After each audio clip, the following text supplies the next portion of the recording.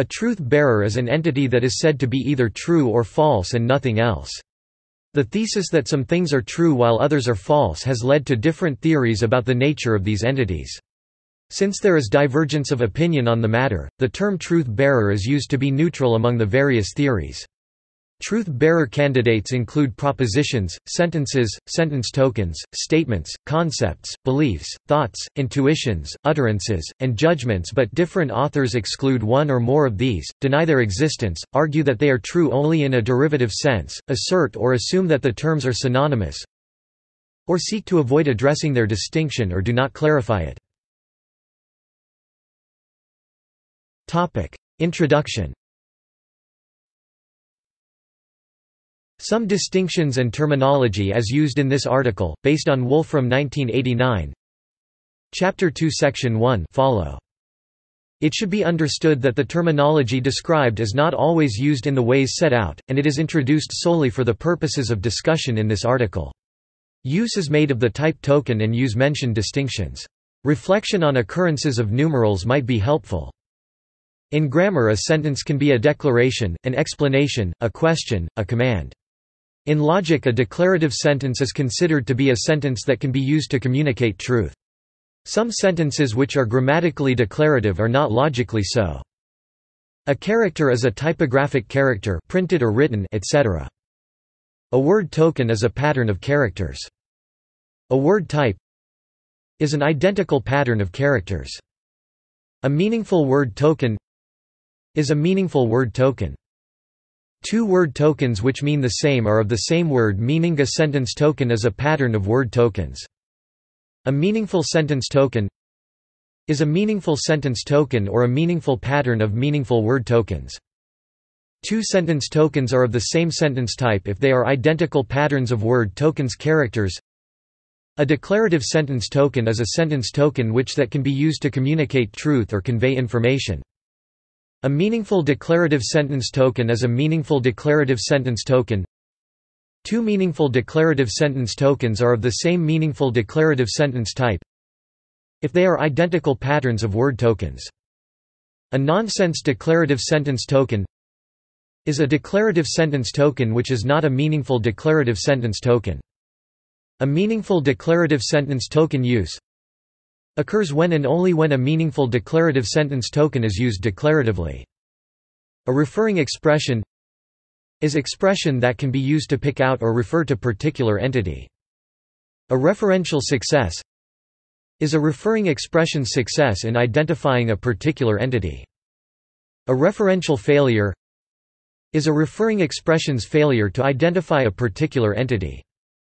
A referentially successful meaningful declarative sentence token use is a meaningful declarative sentence token use containing no referring expression that fails to identify a particular entity.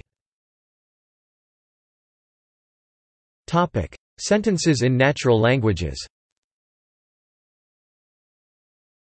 As Aristotle pointed out, since some sentences are questions, commands, or meaningless, not all can be truth-bearers.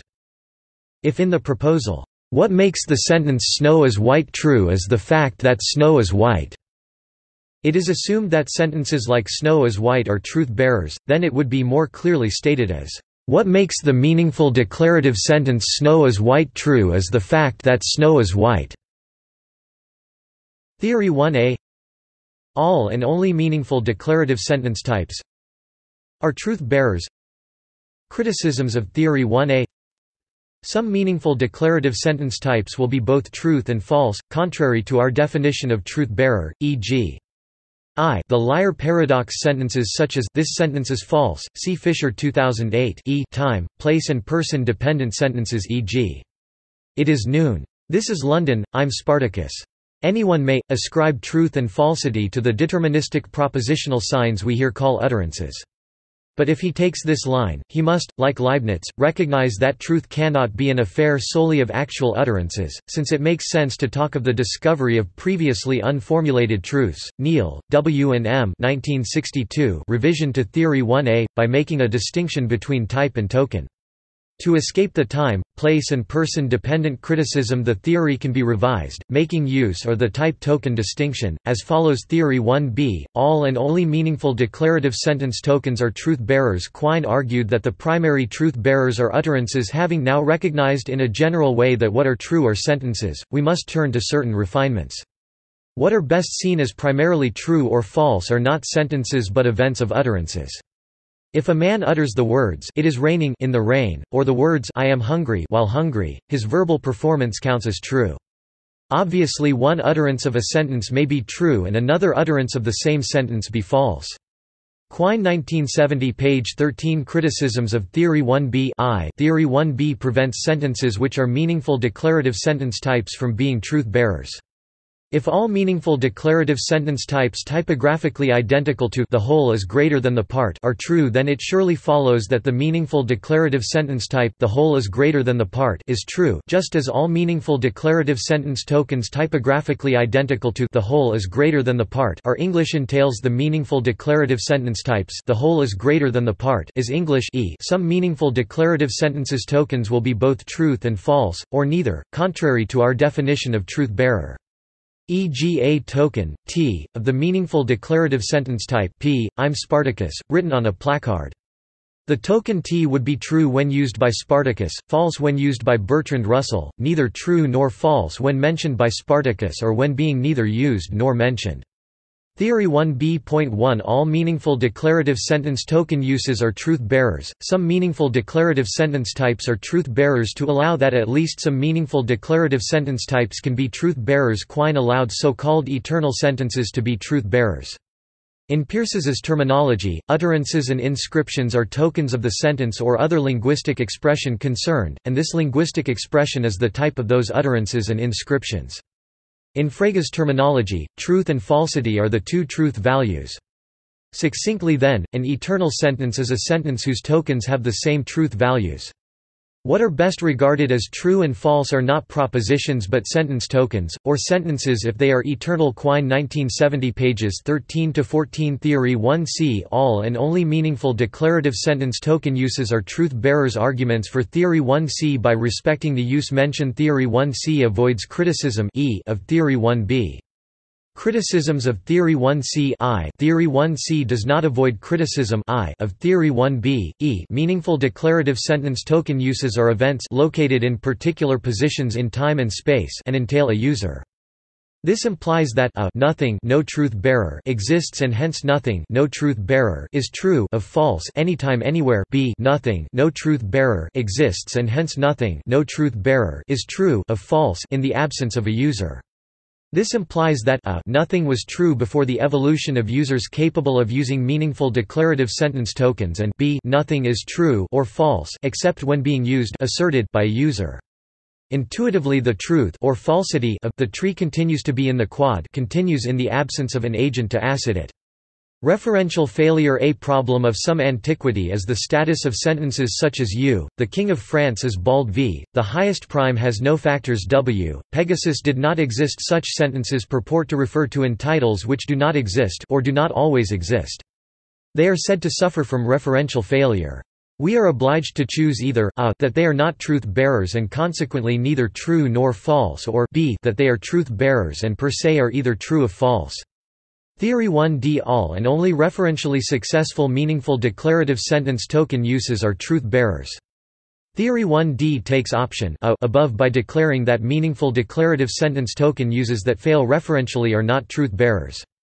Theory 1e All referentially successful meaningful declarative sentence token uses are truth-bearers, some meaningful declarative sentence types are truth-bearers Arguments for Theory 1e Theory 1e has the same advantages as Theory 1d.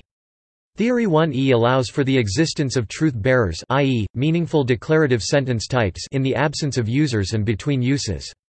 If for any x, where x is a use of a referentially successful token of a meaningful declarative sentence type yx is a truth-bearer then y is a truth-bearer otherwise y is not a truth-bearer. E.g. If all uses of all referentially successful tokens of the meaningful declarative sentence type the whole is greater than the part are truth-bearers i.e. true or false then the meaningful declarative sentence type the whole is greater than the part is a truth-bearer. If some but not all uses of some referentially successful tokens of the meaningful declarative sentence type I am Spartacus are true then the meaningful declarative sentence type I am Spartacus is not a truth-bearer. Criticisms of Theory 1e Theory 1e makes implicit use of the concept of an agent or user capable of using i.e. asserting a referentially successful meaningful declarative sentence token. Although Theory 1e does not depend on the actual existence now, in the past or in the future of such users, it does depend on the possibility and cogency of their existence. Consequently, the concept of truth-bearer under Theory 1e is dependent upon giving an account of the concept of a user. Insofar as referentially successful meaningful declarative sentence tokens are particulars locatable in time and space the definition of truth-bearer just in terms of referentially successful meaningful declarative sentence is attractive to those who are or would like to be nominalists. The introduction of use and users threatens the introduction of intentions, attitudes, minds and c, as less than equals welcome ontological baggage topic Sentences in languages of classical logic In classical logic a sentence in a language is true or false under and only under an interpretation and is therefore a truth-bearer. For example, a language in the first-order predicate calculus might include one of more predicate symbols and one or more individual constants and one or more variables. The interpretation of such a language would define a domain universe of discourse, assign an element of the domain to each individual constant, assign the denotation in the domain of some property to each unary one place predicate symbol. For example, if a language L consisted in the individual constant a, two unary predicate letters f and g and the variable x, then an interpretation I of L might define the domain D as animals, assign Socrates to a, the denotation of the property being a man to f and the denotation of the property being more mortal to G under the interpretation I of L then Fa would be true if, and only if Socrates is a man, and the sentence displaystyle for all fx displaystyle to gx would be true if and only if all men in the domain are mortal. In some texts an interpretation is said to give meaning to the symbols of the language since FA has the value true under some but not all interpretations it is not the sentence type FA which is said to be true but only some sentence tokens of FA under particular interpretations. A token of FA without an interpretation is neither true nor false. Some sentences of a language like L are said to be true under all interpretations of the sentence, e.g. displaystyle for all fx displaystyle lore displaystyle neg fx, such sentences being termed logical truths, but again such sentences are neither true nor false in the absence of an interpretation. Propositions Many authors use the term proposition as truth-bearers. There is no single definition or usage. Sometimes it is used to mean a meaningful declarative sentence itself, sometimes it is used to mean the meaning of a meaningful declarative sentence. This provides two possible definitions for the purposes of discussion as below. Theory 2a All and only meaningful declarative sentences are propositions. Theory 2b a meaningful declarative sentence token expresses a proposition, two meaningful declarative sentence tokens which have the same meaning express the same proposition, two meaningful declarative sentence tokens with different meanings express different propositions. Cf. Wolfram 1989, p. 21 Proposition is not always used in one or other of these ways.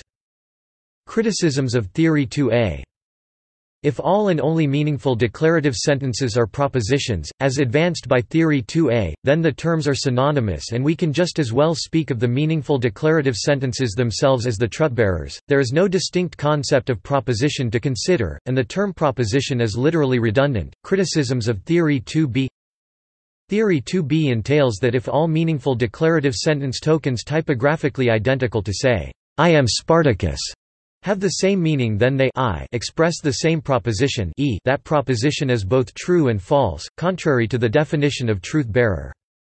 The concept of a proposition in this theory rests upon the concept of meaning as applied to meaningful declarative sentences, in a word synonymy among meaningful declarative sentence s.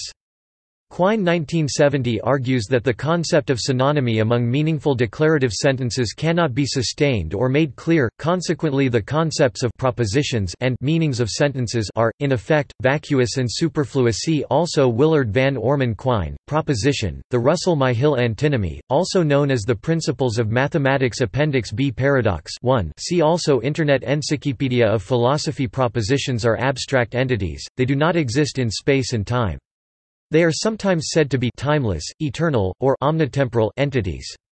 Terminology aside, the essential point is that propositions are not concrete or material objects. Nor, for that matter, are they mental entities, they are not thoughts as Frege had suggested in the 19th century. The theory that propositions are the bearers of truth values also has been criticized. Nominalists object to the abstract character of propositions. Another complaint is that it's not sufficiently clear when we have a case of the same propositions as opposed to similar propositions.